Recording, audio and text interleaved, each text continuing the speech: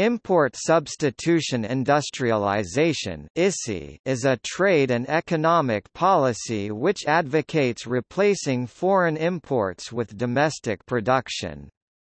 ISI is based on the premise that a country should attempt to reduce its foreign dependency through the local production of industrialized products. The term primarily refers to 20th-century development economics policies, although it has been advocated since the 18th century by economists such as Friedrich List and Alexander Hamilton. ISI policies were enacted by countries in the Global South with the intention of producing development and self-sufficiency through the creation of an internal market.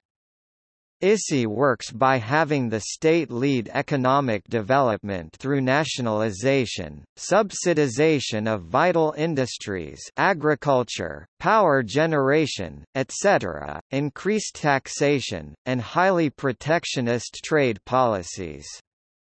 Import substitution industrialization was gradually abandoned by developing countries in the 1980s and 1990s due to the insistence of the IMF and World Bank on their structural adjustment programs of global market-driven liberalization aimed at the Global South. In the context of Latin American development, the term Latin American structuralism refers to the era of import substitution industrialization in many Latin American countries from the 1950s until the 1980s.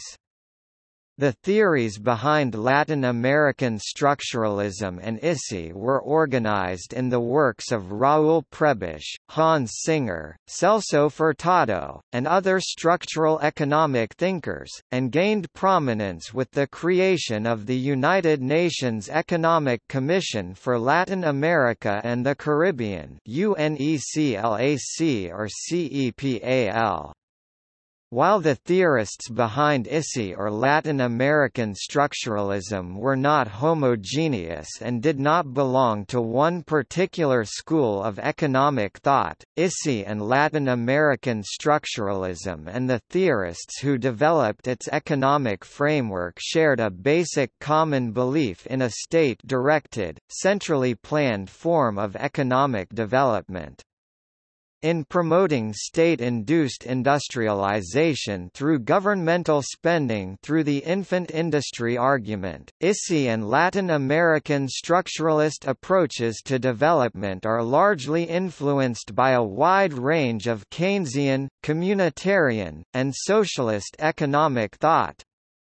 ISI is often associated and linked with dependency theory, although the latter has traditionally adopted a much broader Marxist sociological framework in addressing what are perceived to be the origins of underdevelopment through the historical effects of colonialism, Eurocentrism, and neoliberalism.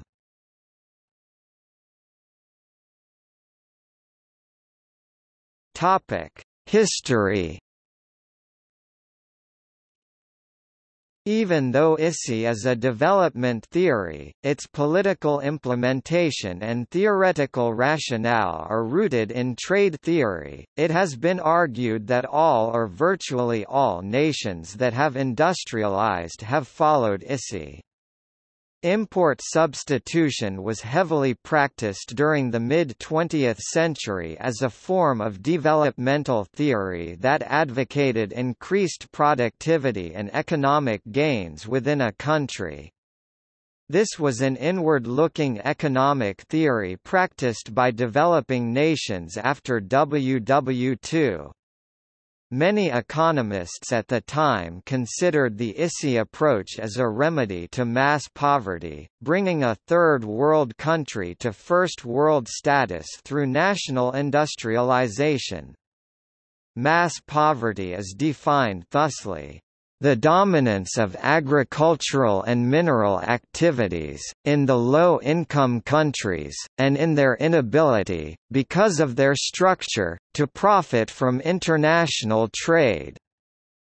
Bruton 905 Mercantilist economic theory and practices of the 16th, 17th, and 18th centuries frequently advocated building up domestic manufacturing and import substitution.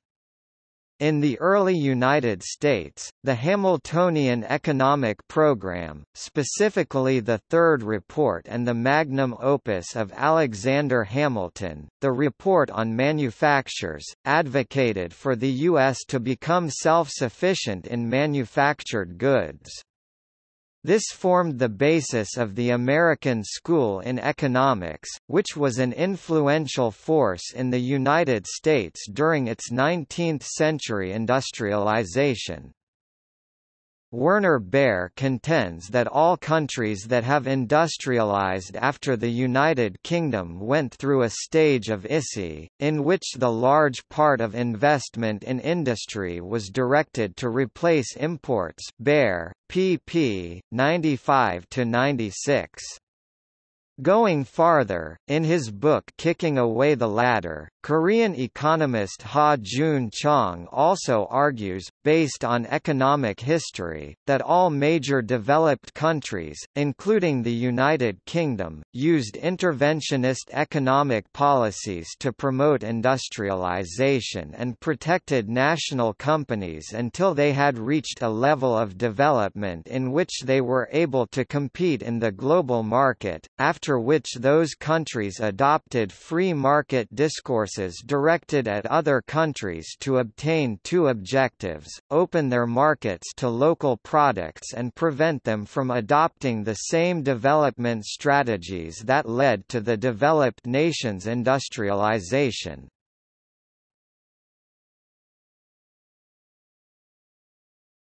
Topic: Theoretical basis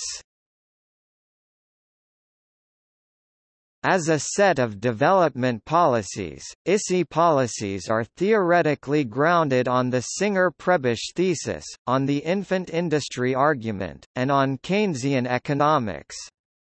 From these postulates, it derives a body of practices, which are commonly, an active industrial policy to subsidize and orchestrate production of strategic substitutes, protective barriers to trade such as tariffs, an overvalued currency to help manufacturers import capital goods heavy machinery, and discouragement of foreign direct investment.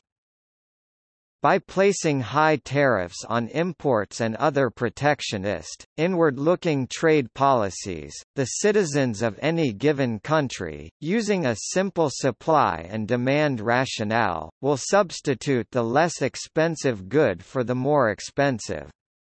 The primary industry of importance would gather its resources, such as labor from other industries in this situation, the industrial sector would use resources, capital, and labor from the agricultural sector. In time, a third world country would look and behave similar to a first world country, and with a new accumulation of capital and an increase of TFP total factor productivity the nation's industry would, in principle, be capable of trading internationally and competing in the world market. Bishwanath Goldar, in his paper Import Substitution, Industrial Concentration and Productivity Growth in Indian Manufacturing wrote, Earlier studies on productivity for the industrial sector of developing countries have indicated that increases in total factor productivity TFP are an important source of industrial growth. Goldar 143. He continued, a higher growth rate in output, other things remaining the same, would enable the industry to attain a higher rate of technological progress since more investment would be made and create a situation in which the constituent firms could take greater advantage of scale economies. It is believed that ISI will allow this Goldar 148. In many cases, however, these assertions did not apply. On several occasions, the Brazilian ISI process, which occurred from 1930 until the end of the 1980s, involved currency devaluation as a means of boosting exports and discouraging imports thus promoting the consumption of locally manufactured products, as well as the adoption of different exchange rates for importing capital goods and for importing consumer goods. Moreover, government policies toward investment were not always opposed to foreign capital. The Brazilian industrialization process was based on a tripod which involved governmental, private, and foreign capital, the first being directed to infrastructure and heavy industry, the second to manufacturing consumer goods, and the third, to the production of durable goods such as automobiles.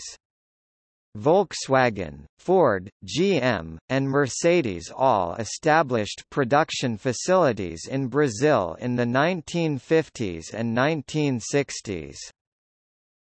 The principal concept underlying ISI can thus be described as an attempt to reduce foreign dependency of a country's economy through local production of industrialized products, whether through national or foreign investment, for domestic or foreign consumption. It should be noted, as well, that import substitution does not mean import elimination. As a country industrializes, it begins to import new materials that become necessary for its industries, such as petroleum, chemicals, and other raw materials it may have formerly lacked.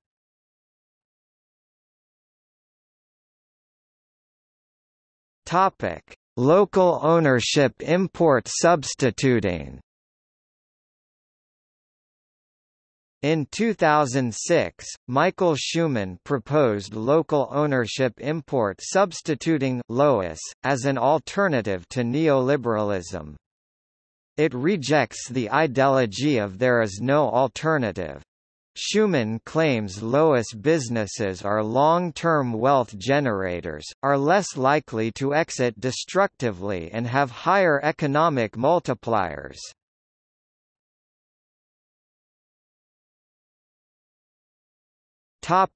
Latin America Import substitution policies were adopted by most nations in Latin America from the 1930s until the late 1980s. The initial date is largely attributed to the impact of the Great Depression of the 1930s, when Latin American countries, which exported primary products and imported almost all of the industrialized goods they consumed, were prevented from importing due to a sharp decline in their foreign sales. This served as an incentive for the domestic production of the goods they needed.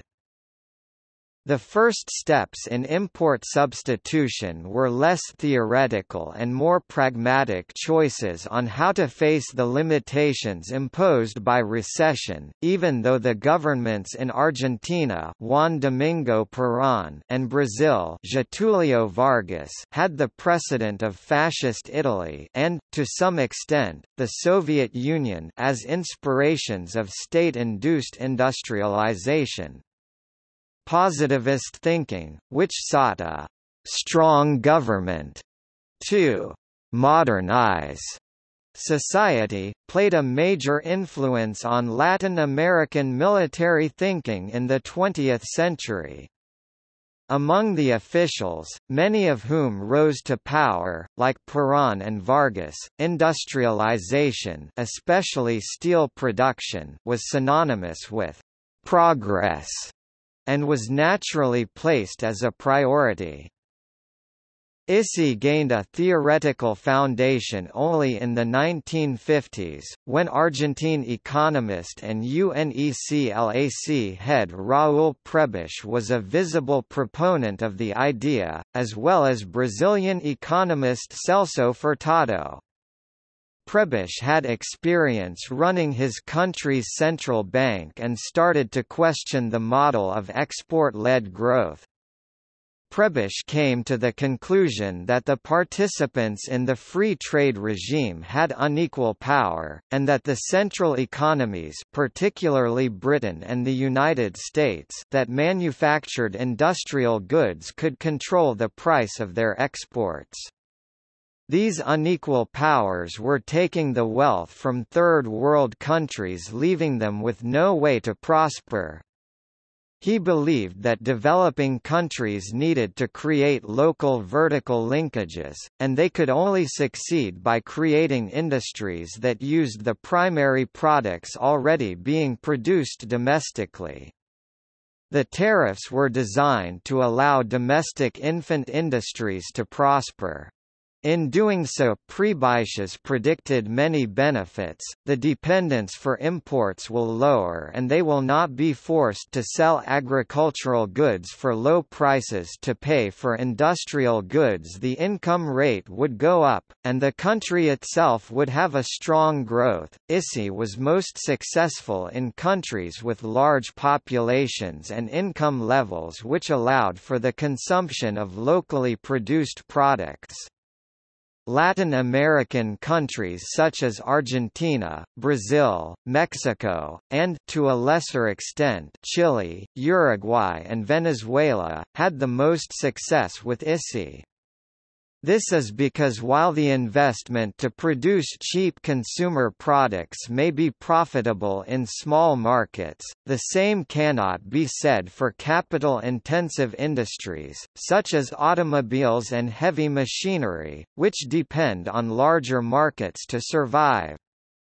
Thus, smaller and poorer countries, such as Ecuador, Honduras, and the Dominican Republic, could implement ISI only to a limited extent.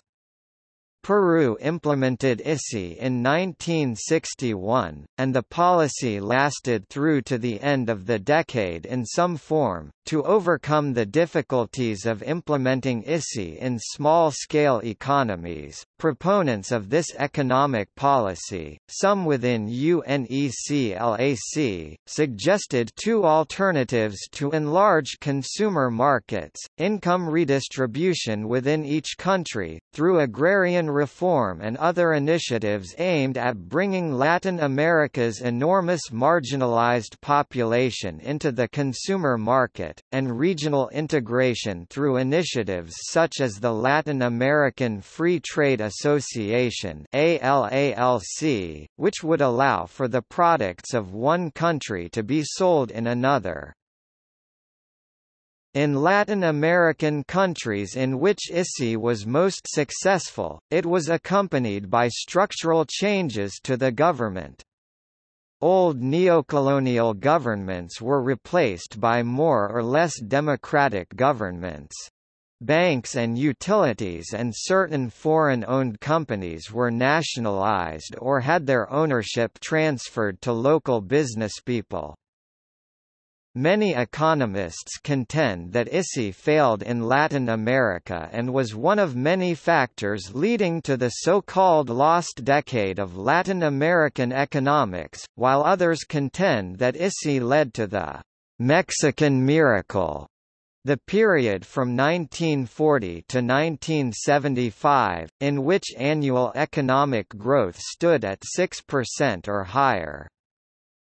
As noted by one historian, ISI was successful in fostering a great deal of social and economic development in Latin America. By the early 1960s, domestic industry supplied 95% of Mexico's and 98% of Brazil's consumer goods. Between 1950 and 1980, Latin America's industrial output went up six times, keeping well ahead of population growth. Infant mortality fell from 107 per 1,000 live births in 1960 to 69 per 1,000 in 1980, and life expectancy rose from 52 to 64 years. In the mid-1950s, Latin America's economies were growing faster than those of the industrialized West.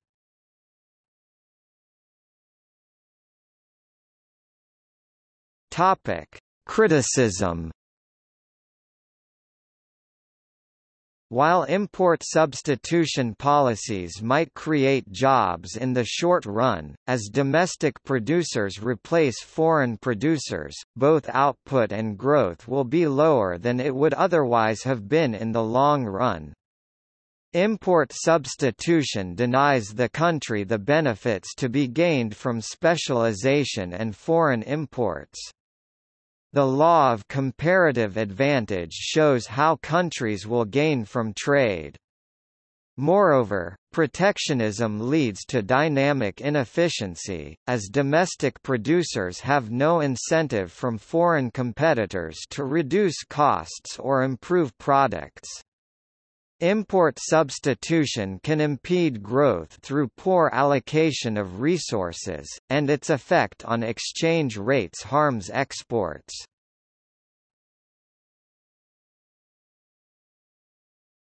Topic: Results. Despite some apparent gains, import substitution was both unsustainable over time and produced high economic and social costs. Given import substitution's dependence upon its developed and isolated markets within Latin America, it relied upon the growth of a market that was limited in size. In most cases, the lack of experience in manufacturing and the lack of competition, reduced innovation and efficiency, which restrained the quality of Latin American produced goods, and protectionist policies kept prices high. In addition, power was concentrated in the hands of a few, which decreased the incentive for entrepreneurial development. Contrary to its intent, import substitution exacerbated inequality in Latin America. With a poverty rate greater than 30%, the internal demand that import substitution relied upon was not available. Protective policies and state ownership reduced the incentives for business risk, resulting in decreased efficiency. Lastly, the large deficits and debts resulting from import substitution policies are largely credited for the resulting Latin American crisis of the 1980s. Critics of neoliberal economics, however, argue that the elimination of tariffs in nations with immature tax systems reduces the government revenues that are required to service public debt. See also